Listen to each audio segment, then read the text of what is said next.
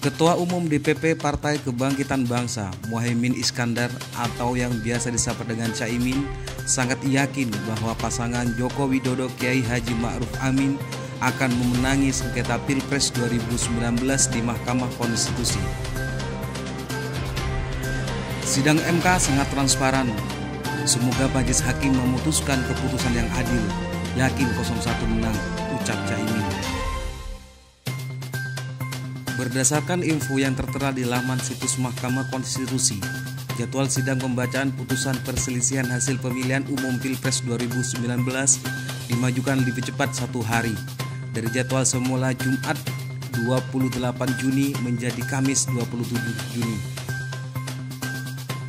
Sekretaris Jenderal MK Guntur Hamzah membenarkan informasi yang tertera di laman situs MK tersebut bahwa pembacaan putusan sengketa Pilpres 2019 akan dimulai Kamis pukul 12.30 siang.